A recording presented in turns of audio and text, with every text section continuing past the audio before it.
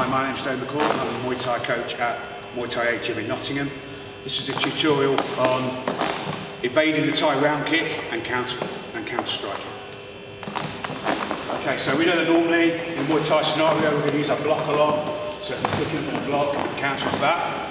But we have other options and some of those options would be to use slightly back, going backward footwork. So for example, if that's a low kick, comes in, I can step back my southpaw stance and strike the available target. Same there.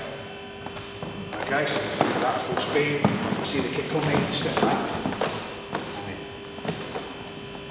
If it was to be uh, a body section kick that I've read, I'm going to slide back on my right leg.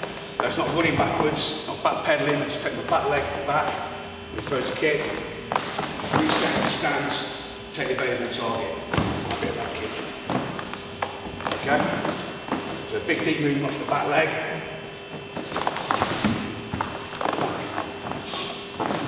Slightly different movement if a high kick coming in. I'm going to get my head out of the way. I'm also going to go back deep on my right leg. And I'm just going to move my head backwards.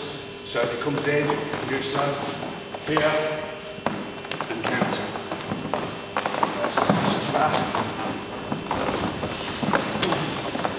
use that footwork to set up your counter. From other side. Low kick comes in, I'm ready, step back, counter to the available target. Midsection kick comes in, slide back, counter.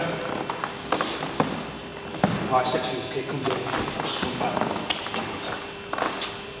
Okay, looking at the kick from the left leg, I'm going to have to read it because there's a slight skip coming into it nice and slow. I'm simply going to change stance to southpaw, let the kick go past. From good southpaw stance, take the available time. Okay, do that again. Kick comes in, southpaw, strike.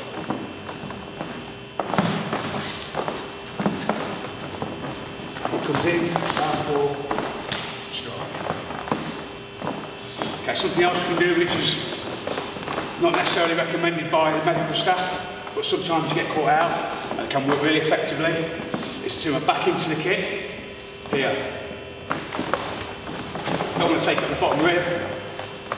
It's not great to take a body shot on the liver, but sometimes this can set up a great counter. Uh, Muay Lak, firm, strong technique. So I twist away from the kick, ride it my back, come in with a straight right punch. aggressive counter. You can also use the elbow. So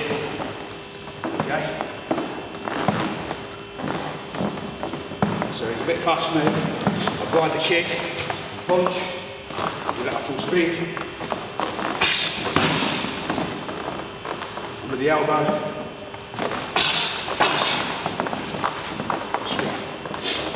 This is a variety of ways we can deal with Kicks, obviously we know we can catch them, we can block them. This is some shifting footwork and evasive movement to set up really good strong counters.